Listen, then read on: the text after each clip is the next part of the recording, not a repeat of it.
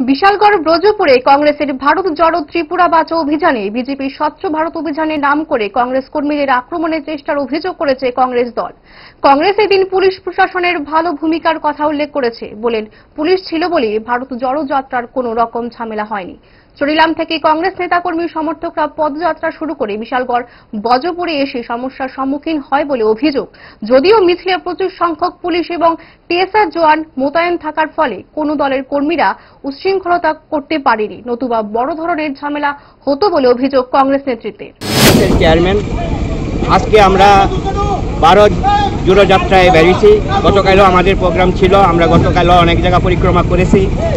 আজকে দক্ষিণ চরিলাম একটা জায়গায় রাস্তায় ব্যারিকেড তৈরি করার জন্য তারা গাছপালা ফালাইছে।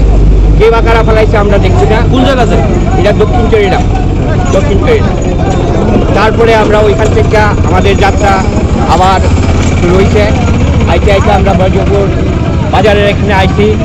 বজপুর বাজারে এখানে আওয়ার পরে দেখি বিজেপির কিছু ফ্ল্যাগ ট্যাগ লইয়া যুবক ছেলে আছে কিছু মহিলা আছে। তারা ধুলা উড়াইতে আছে ঝাড়ুর নাম কইরা। তারপরে ফুলাবানগুলি স্লোগান টুগান দিতে আছে তাদের দলে।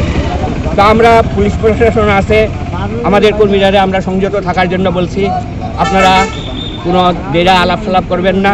ওরা যত রকমেরই আমাদেরকে মানে আপনারা কি মনে হয় আপনাদের মিছিলে আক্রমণ করার চেষ্টা করছেন? মিছিলে আক্রমণ করার জন্যই এই চেষ্টাটা। আচ্ছা।